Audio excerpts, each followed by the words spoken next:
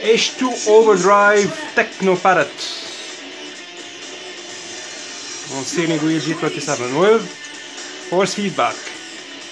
Let's try this one.